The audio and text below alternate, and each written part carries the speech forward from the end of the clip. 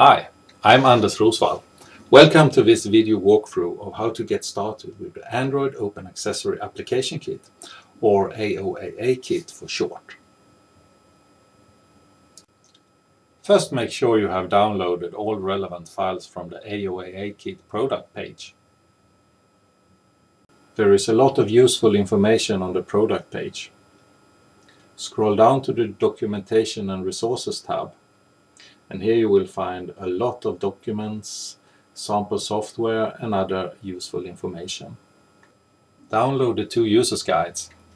The AOAA Kit user guide gives an overall view of the system and hardware details.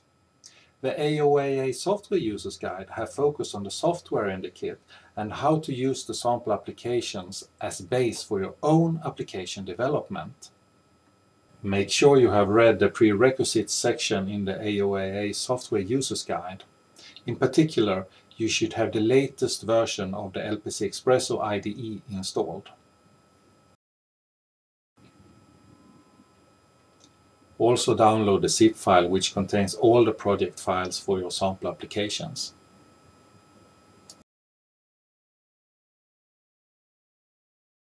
Start the LPCXpresso IDE and select the new and empty workspace directory.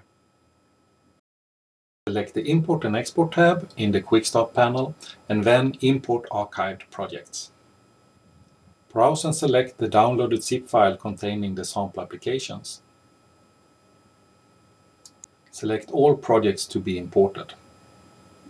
Import the projects by clicking Finish. By default, the NXP USB library has been configured for USB device only. This must be changed to USB host. Right-click on the NXP USB lib project. Select Build Configuration, Set Active, and then choose USB host. Select the project to work with. Click Build in the Quick Start panel. Before attempting to download and debug the project, the AOAA board must be powered and the LPC link should be connected via the flat cable. Make sure the orientation of the flat cable is correct. The program development chapter in the AOAA Kit Users Guide illustrates correct orientation and how to connect in general. Select the project to work with. Click Debug the application will be downloaded to the AOAA board via LPC link.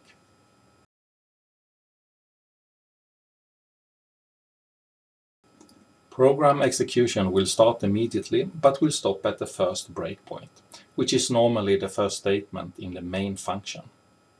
Press function key 8 or the green arrow icon to resume program execution. Now we are going to demonstrate the basic sample application that we have just downloaded. Connect the phone to the AOAA board.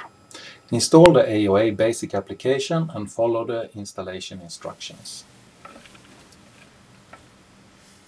If you have problems here, you may need to change the phone settings to be able to complete the installation successfully. Check the Prepare the Android device section in the AOAA Software Users Guide for details. This demo shows how you can move data in both directions, from the accessory to the phone and the other way around. You can turn the trim pot and get immediate updates on the phone. The AOAA board has some buttons and their status is also reflected on the phone. The buttons on the phone controls the RGB LEDs on the AOAA board. We hope you will enjoy to work with this board just as much as we do. It is a very versatile platform for AOA projects in particular, but for many other projects as well. The Ethernet, CAN and wireless module communication interfaces are general and suitable for any communication-oriented project.